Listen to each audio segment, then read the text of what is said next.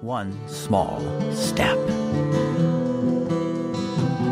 The fact that an opinion has been widely held is no evidence whatever that it is not utterly absurd. Indeed, in view of the silliness of the majority of mankind, a widespread belief is more likely to be foolish than sensible. Bertrand Russell. Now I will tell you the secret of the Apollo moon landings, which is, there were none. No one has ever gone to the moon. Based on what evidence do I reach this conclusion? Waving flags? Misaligned shadows? The shining? Radiation? Any of the countless other telltales and giveaways the moon hoax community likes to point to? Happily, no. We don't have to slog through the evidence. We can just look with clear eyes and see that the real triumph of the Apollo missions was quite different than the triumph proclaimed and of much greater interest to us here. I don't know what's commonly believed about the moon landings when you're reading this, but when I'm writing it, most people still believe the narrative. Not that most people have revisited the issue and reweighed the evidence and made an informed decision on the subject, just that you have to be a crackpot to think we didn't really go to the moon, and most people don't like to be thought of as crackpots. I myself don't happen to mind.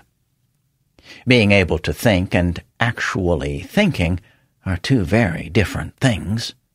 That we can think doesn't mean we do.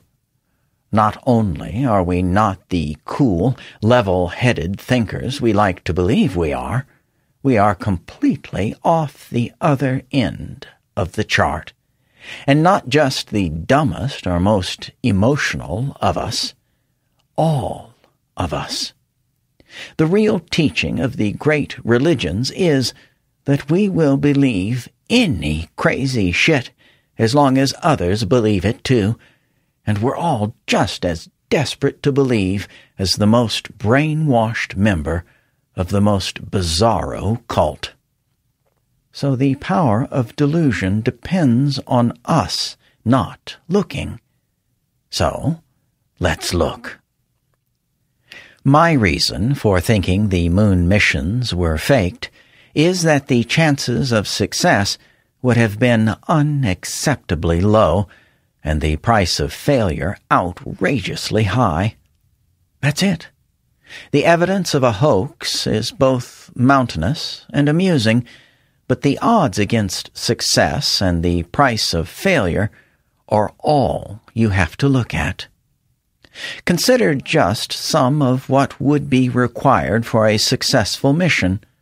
Launch, a quarter million mile trip each way, including two unshielded trips through the Van Allen belts, lunar landing, surviving temperature extremes and radiation, relaunch, recoupling, return trip, reentry, splashdown, and recovery, all in the 1960s, all slapped together in frantic haste and all with very little practical experience or history of success in even the simplest parts.